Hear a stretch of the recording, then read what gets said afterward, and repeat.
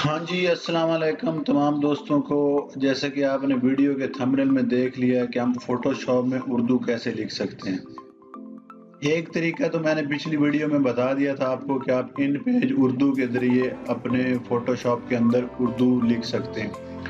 लेकिन इस वीडियो में मैं आपको बताऊँगा कि आप इन पेज के बगैर डायरेक्ट फ़ोटोशॉप के अंदर ही उर्दू लिख सकते हैं। तो चलें, बढ़ते हैं अपनी वीडियो की तरफ़। सबसे पहले आपने अपने पीसी के अंदर ये एक जो है पाक उर्दू इंस्टॉलर। यहाँ आप गूगल में सर्च करेंगे तो ये पहले वाला जो है पाक उर्दू इंस्टॉलर, ये आपने डाउनलोड कर लेना है।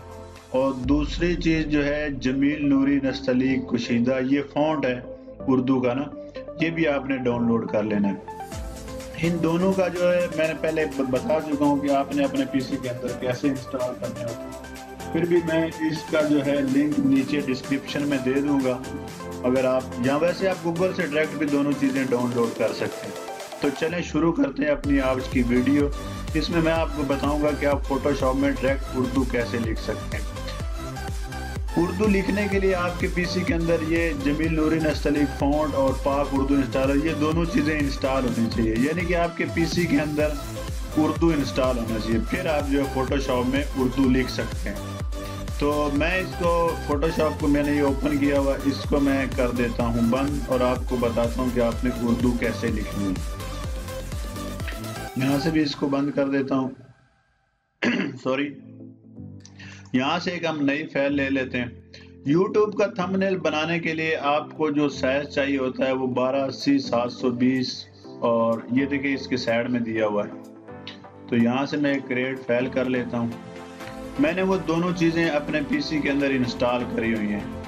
यहाँ पे ऊपर आपने लैंग्वेज सेलेक्ट कर लेनी है जो आपने डाउनलोड करा हुआ है। यहाँ से आपने जमील नूरी नस्तलीक फ़ोन सेलेक्ट कर लेना। ये आ गया, ये वाला। अब मैं यहाँ पे आपको उर्दू लिख के दिखाता हूँ। अब ये देखे मैं यहाँ क्लिक करता हूँ। अब मैं लिखता हूँ अपना नाम, अमजद, लेकिन सॉरी इसको आपने अपने पीसी की जो लैंग्वेज है, वो यहाँ से उर्दू सेलेक्ट कर लेनी है। ये मैं उर्दू सेलेक्ट कर लेता हूँ। अब यहाँ पे जो है मैं लिखता हूँ। मैं इसको थोड़ा सा बड़ा कर देता हूँ।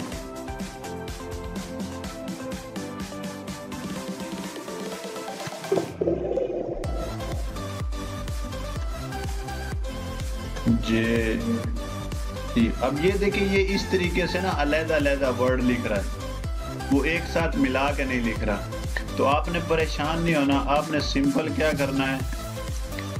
आपका जो फोटोशॉप है, उसके आपने सेटिंग में जाना है। सेटिंग का शॉर्टकट मैं आपको बताता हूँ, आपने कंट्रोल के करना है। कंट्रोल के जैसे ही आप सिलेक्ट करेंगे कंट्रोल के इसको जो है, आपके पास फोटोशॉप की सेटिंग खुल जाएगी, ये वाली। कंट्रोल प्लस के सेलेक्ट करेंगे तो ये वाली सेटिंग आई। ये देखिए, इस तरीके से आपके सामने प्रीफेंस का ये मेन्यू खुल जाएगा। ये नीचे लिखा हुआ है टाइप आप टाइप पे जाएँगे। अब ये देखिए, इसके ऊपर ईस्ट एशियन सेलेक्ट हुआ हुआ है।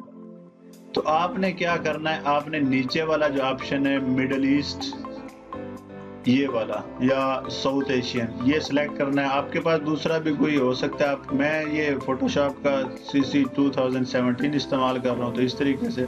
आपके पास अगर पुराना है या नया है तो वो थोड़ा मुख्तलिफ़ हो सकता है। लेकिन आपने ये मिडल ईस्ट और साउथ एशियन सेलेक्ट करना है इसको बाद आपने इसको ओके करना है। ओके कर दिया। अब मैं इसको लिखना स्टार्ट करता हूँ। अब ये देखिए अब भी वो अलहदा अलहदा वर्ड लिख रहा है। लेकिन आपने एक दफ़ा इसको बंद कर देना है फोटोशॉप को। ठीक है? इसको आप एक दफ़ा बंद कर दें। ये बंद हो गया, उसके बाद आप जो है दोबारा फोटोशॉप को खोलें। थोड़ा सा टाइम लेगा, ये दोबारा खुल जाएगा।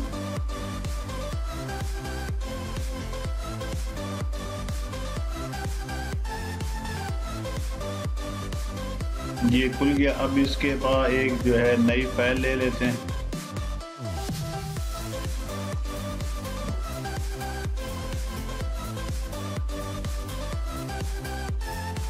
क्रिएट थोड़ा सा बड़ा कर देता हूँ इसको। अब ये देखिए, अब मैं इसको थोड़ा सा बड़ा कर लेता हूँ और फिर अब मैं लिखना शुरू करता हूँ।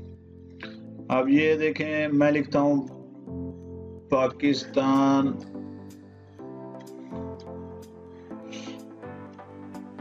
ये देखिए अब ये बिल्कुल साफ़ जो जैसा आप लिखना चाहते हैं, वैसा लिख सकते हैं। फोटोशॉप के अंदर ही। मैं अपना नाम लिख देता हूँ, अमजद।